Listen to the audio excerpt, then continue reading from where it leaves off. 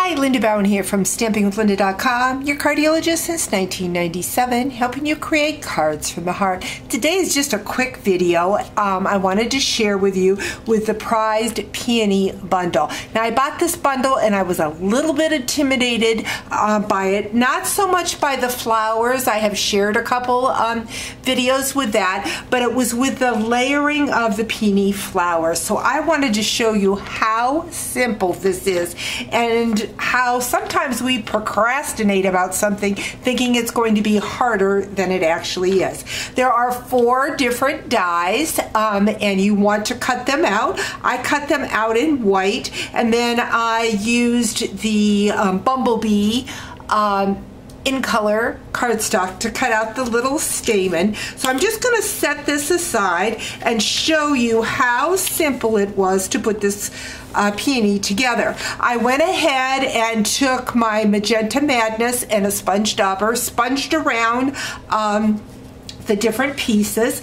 I like to take a glue dot to kind of hold my stamen in. And the thing is you need to build they all have a little curve at the bottom and we're going to be building with that. I'm just going to put that little stamen um, right in my flower. A little harder to get in at first with that glue dot, but it just kind of holds it in place. And then what you want to do is you want to take the next piece and you're just going to go right inside like that again. Because of that glue dot you need to just kind of work with it a little bit to get it in. But I just find that helps hold it in place.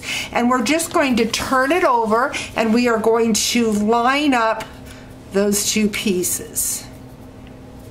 So see how the curve is. Then we're gonna go in and grab the next piece, again, sliding it in you get such a different look every time depending on how you sponge or if you use just one color. Again, lining those edges up and then finally taking the bigger one and doing the same thing, pulling it down and lining up those tabs. And that's all it is to it. Again, I procrastinated about this over and over and I really didn't have to.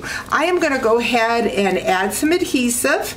You know what, I think I'm going to go ahead and find a glue or a dimensional I haven't done it with a dimensional. I think I'm going to just grab a long dimensional and put across there like so to pop it up.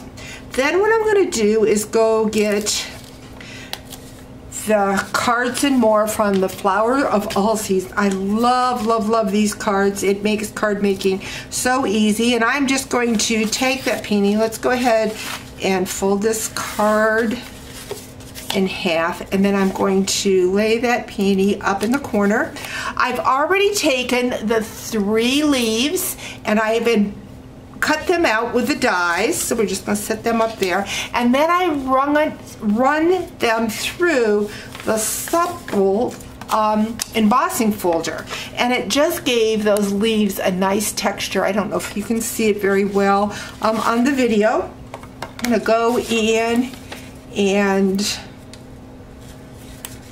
grab a glue dot, slip those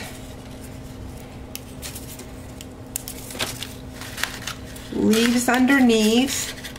I mean, how quick is this card? I mean, just so, so quick.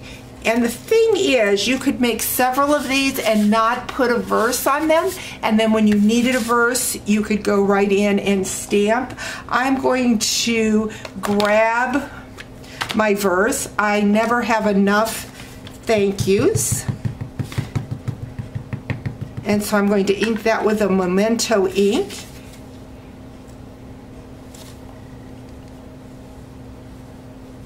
Stamp it on my card and there we have it. A very quick card using that new uh, peony die.